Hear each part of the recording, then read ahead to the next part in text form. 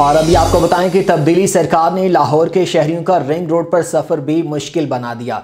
Ring road authority की जानब से टोल टैक्स की फ़ीस में इजाफा कर दिया गया।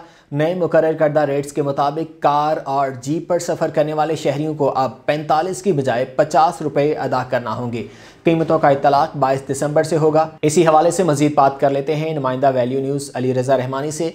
अली रज़ा, कितने फ़ीसद इजाफा किया गया है? हाँ जी, बिल्कुल। तब्दीली सरकार के नए फैसले के तहत लाहौर के शहरियों और दीगर को रिंग रोड पर सफ़र करना अब मजीद महँगा हो गया है। रिंग रोड अथॉरिटी की जानब से टूल टैक्स की फ़ीस में इजाफा कर दिया गया है। रिंग रोड की जानब से नए मुकर करदा रेट्स के मुताबिक कार और जीप पर सफ़र करने वाले शहरियों को पैंतालीस की बजाय अब पचास रुपए टूल टैक्स अदा करना होगा, जबकि वैगन और कोस्टर का टूल टैक्स भी सौ रुपए कर दिया गया है। ट्रक की फ़ीस तीन सौ रुपए कर दी गई है।